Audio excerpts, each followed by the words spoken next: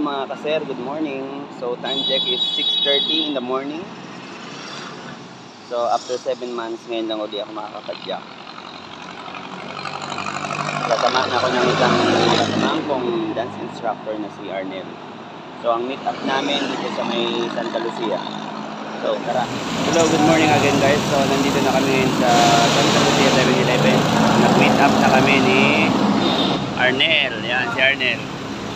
Yan. First time mo ba umahan ngayon bro? Oo. Ha? Oh, yan. Mabubudol to. eh, ano lang, ano lang, pacing lang tayo. Mabagal lang, okay? See you later guys ha. Panoorin niyo itong vlog na vlog namin na. Okay, okay. So first destination namin going to Antipolo Church. So right now, andito kami ngayon sa kahabaan ng Marcos Highway.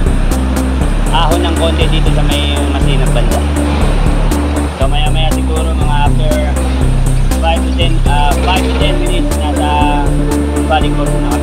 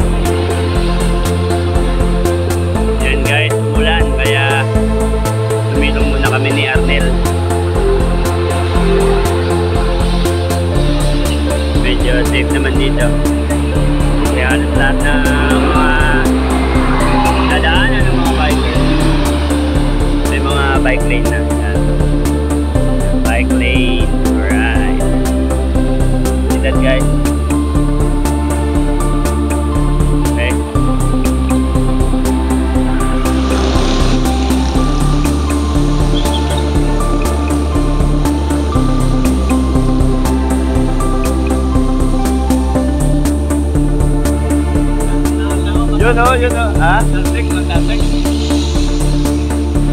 So mga sir, pag umahon kayo dito sa Antipolo, madadaanan nyo to. Ang mga bilihan ng mga pasalubong. Yan.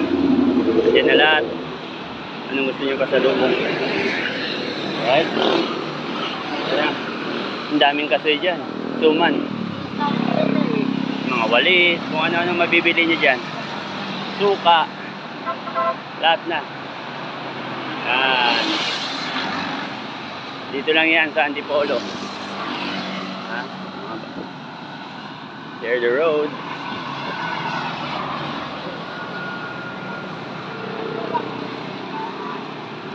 After 7 7 months, yan, naawin ko ulit. Okay naman, kaso medyo ah, bumagal na tayo kasi siyempre, iba na yung praktisado. Yung, hindi gaya nung pandemic time, halos araw-araw ako nagbabike.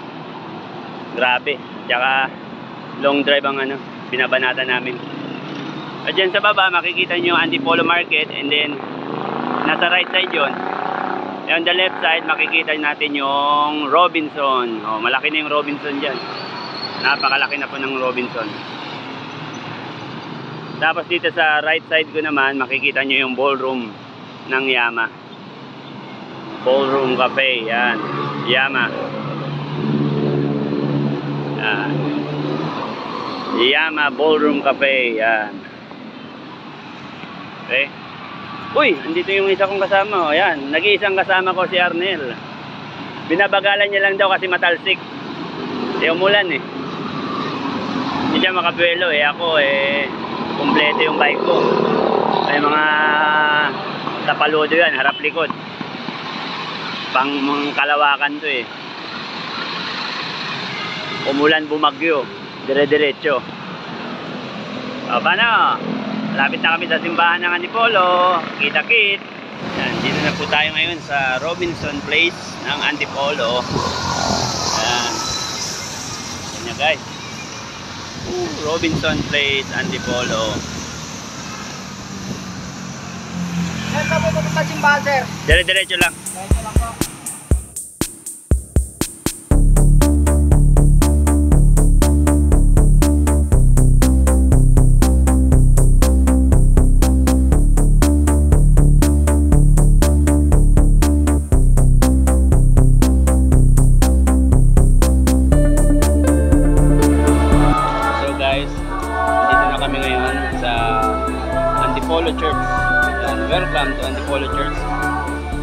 Kasama ko pa rin si Arnel Silva.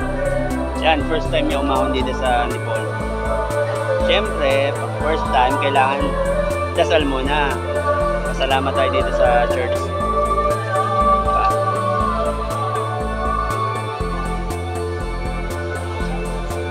Masasabi mo Nel sa mga ano, mga gustong sumubok na basic ba, basic? Ang mabuting balita ng Panginoon. Ano pa lang to ha, unang first station namin, siguro mga apat, meron pa kaming tatlong aakyat ni Arnel. Noong panahon yun, sinabi ni Jesus Diba? Makakauwi kami, ng tanghali na. Siguro mga 1 o'clock, andun na si Arnel sa bahay nila. Ewan ko, maglalaro pa daw siya ng basketball eh. May dalawang lalaki bumalik sa templo upang manalangin. Ang isa'y pariseo at isa naman ay publikano. Tumindig ang pariseo at pamulong na nalalangin ng ganito. O Diyos, nagpapasalamat ako sa iyo na sapagkat hindi ako matulad ng iba. Baka magnanakaw. CR mo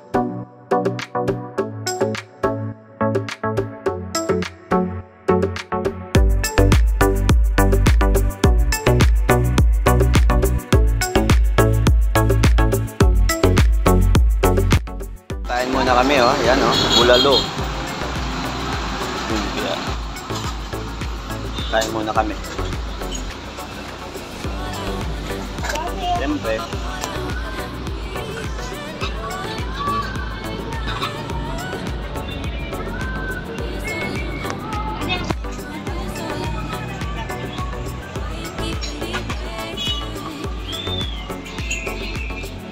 Yan, kain muna. Para malakas ang ano, padyak namin. Dito na kami sa ano sa ano sa papuntang ano, mahabang parang ang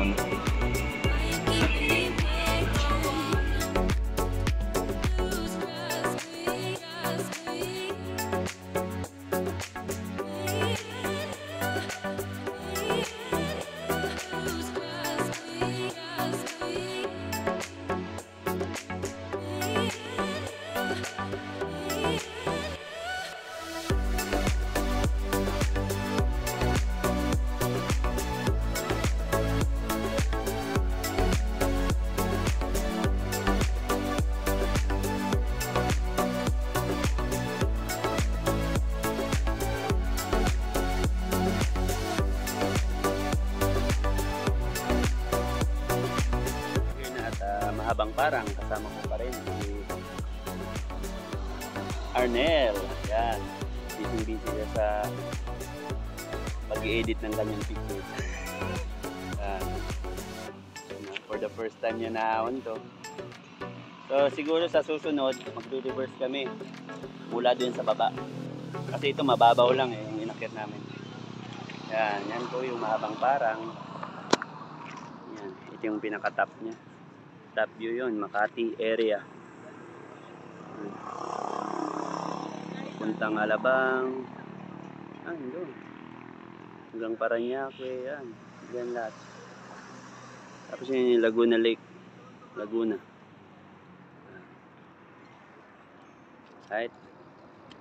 Ang daming mga bikers dito yun, nagtatambay doon. Papahinga, kumakain, nagkakape, uminom ng buko, yan, daming buko. Okay? So, ngayon, papunta naman kami, bababa kami ng Mabang Parang. Ang uno pa rin yan. Tapos kakaliwa kami dun sa dulo, sa may iglesia. Papunta kami Binangonan, Pantok. So, i-reverse namin yung Pantok na yan. Labas namin Thunderbird, Antipolo ulit. Baba na kami ng Tikling, Ortigas Extension, going back home. Okay?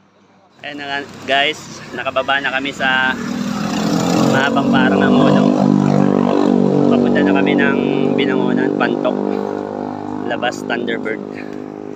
Yan. Yan si Arnel sa likod.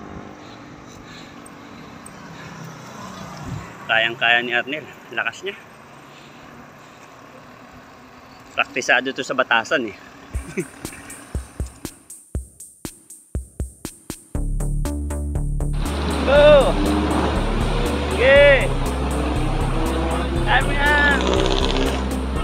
Konti na lang. Alright, saka lang. Oh.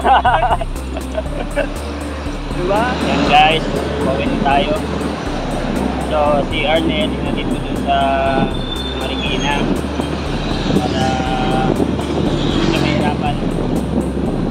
So, tinuro ko nila yung tamang daan. Para pag uwi niya, dire-diretso na lang. So, ngayon, papauwi na rin ako sa Karangalan. Tapos ng ride namin with Arnel Silva. Yes.